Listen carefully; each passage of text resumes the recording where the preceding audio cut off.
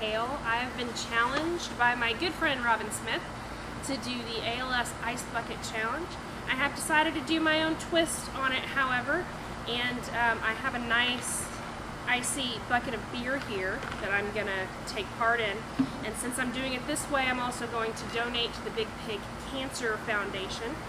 So um, husband and I have had a lot of friends in the past couple of years touched by cancer, so we wanted to make sure that we did something that was close to home. I would like to nominate as the fellow recipients Miss Diana McKeever Smith, April Toms, and I would also like to nominate my darling husband, Mike Reyher. No. Okay.